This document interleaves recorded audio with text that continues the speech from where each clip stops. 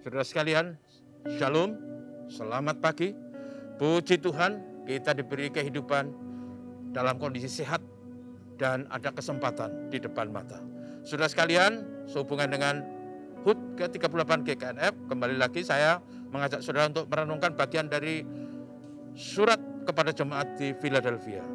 Saya beri tema mendengar apa yang dikatakan roh Tuhan. Wahyu 1 ayat 13. Siapa bertelinga, hendaklah ia mendengarkan apa yang dikatakan roh kepada jemaat-jemaat. Saudara, dalam kitab Wahyu pasal 2 dan 3 ada tujuh jemaat yang mendapat surat dari Tuhan. Dan tiga gereja yang pertama, surat-surat itu diakhiri dengan kata-kata yang sama. Barang siapa menang dan seterusnya. Tapi empat gereja berikutnya, termasuk gereja di Philadelphia, kata-kata bagian akhir dari surat itu sama juga, yaitu barang siapa bertelinga, hendaklah ia mendengarkan apa yang dikatakan roh kepada jemaat-jemaat. Nah, saudara dalam rangka HUT ini izinkan saya menyampaikan kesaksian saya bagaimana GKNF dan saya sebagai gembala yang pada waktu itu melayani dari uh, tahun 79 kami ingin selalu bersaksi dalam kesempatan ini bahwa kami mendengar suara Tuhan demi pekerjaan Tuhan, demi gereja Tuhan.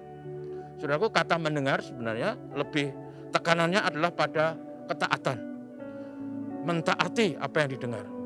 Dan izinkan saya menyampaikan kesaksian saya berhubungan dengan uh, pelayanan di GKNF dan perjalanan GKNF. Saudaraku yang kasih, dalam pelayanan di GKNF ini, saya sejak awal mengalami banyak tantangan, macam-macam, termasuk bergumul dengan segala keterbatasan, uh, ada kesulitan-kesulitan yang dihadapi, uh, pelayan yang tidak pernah mudah, uh, dan dalam situasi itu selalu ada godaan untuk kami bisa mendapat tempat pelayanan atau kesempatan pelayanan yang lebih baik yang menjanjikan. Tetapi saya ingin ceritakan bahwa saya mentaati, mendengar suara Tuhan dan saya bertekad untuk di. Saudaraku, saya uh, dalam plan uh, awal-awal itu, uh, saudaraku, seperti saya katakan tidak mudah saya punya adik kandung lulusan uh, studi bahasa Inggris di Universitas Satya Wacana Salatiga.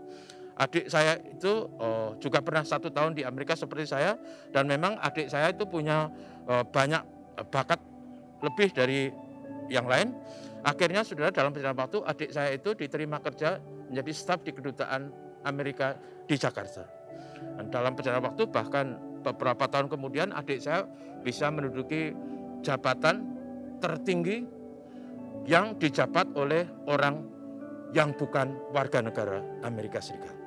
Dan adik saya tahu pergumulan saya selaku kakak yang melayani dengan segala keterbatasan dan karena itu saya tidak tahu bagaimana tapi adik saya rupanya sangat disayang oleh bos lalu bos itu juga mendorong adik saya supaya saya diajak kerja di Jakarta di kedutaan itu. Jadi adik saya dua kali memberi mengirim surat kepada saya waktu itu belum ada telepon dan sebagainya. Dia ngirim surat kepada saya supaya saya mau pergi tinggalkan Jogja dan kerja di kedutaan Amerika Serikat. Saya bilang tidak. Kemudian satu kali yang terakhir dia datang dan menjemput saya. Saya juga bilang tidak. Saya mendengar suara Tuhan dan saya mau mentaati suara Tuhan. Saudara, dalam perjalanan waktu juga waktu saya pelayan di GKN masih masih belum mapan dalam banyak hal. Oh, ada sebuah gereja denominasi lain yang mencari gembala sidang. Pendeta yang bisa berbahasa Jawa, bisa berbahasa Indonesia, bisa berbahasa Inggris. Dan gereja itu melobi bapak saya supaya saya mau ke gereja itu dan melayani di sana. Tapi saya juga bilang tidak.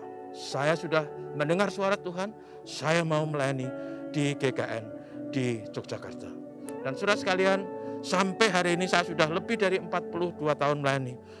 Saya tidak pernah kekurangan, sampai kelaparan, Saya tidak pernah punya hutang sampai tidak bisa bayar hutang. Dan bahkan dalam kasih Tuhan saya diberkati dengan banyak kesempatan.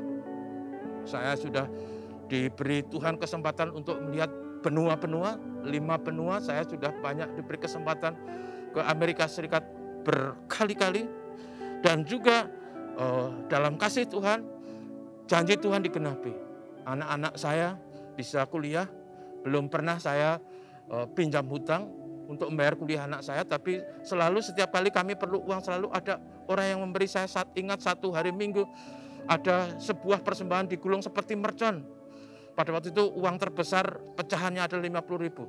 Besar, digulung dimasukkan di kantong persembahan dan ditulis ini untuk pendeta Hartoyo. Dan saudara tahu uang itu pas untuk membayar anak saya masuk di Universitas Atmajaya. Semua dikenapi. Jadi saudaraku mengapa semuanya ini saya ceritakan? Karena inilah yang dikatakan. Hendaklah orang yang bertelinga itu mendengar apa yang dikatakan roh kepada gereja-gereja atau jemaat-jemaat. Saya mendengar, saya mentaati dan Tuhan memberkati hidup kami, pelayanan kami GKNF sampai hari ini kami selalu menikmati kebersamaan sukacita, kebersamaan yang penuh keindahan di GKNF bersama majelis dan semua jemaat. Anugerah Tuhan. Saudaraku, apa kuncinya? Karena kita mau mendengar apa yang dikatakan roh kepada. Saudaraku, mendengar dan mentaati firman Tuhan. Itu kunci damai sejahtera. Tuhan memberkati kita. Mari kita berdoa. Bapak terima kasih kami bersyukur untuk 38 tahun usia GKN. Kami bersyukur untuk proses suka dan duka yang silih berganti. Kami bersyukur Tuhan memberi lokasi, Tuhan memberi orang-orang yang bekerja dan melayani tanpa pamrih di GKN. Berkat Tuhan kami mohon bagi seluruh jemaat, berkat Tuhan kami mohon untuk seluruh majelis, para aktivis, dan semua pelayanan dalam rangka HUT tahun ini. Tuhan terima kasih kepadamu. Terpujilah namamu, pimpin kami semua hari ini. Tuhan memberkati kami. Haleluya. Amin. Selamat pagi Tuhan berkati semua.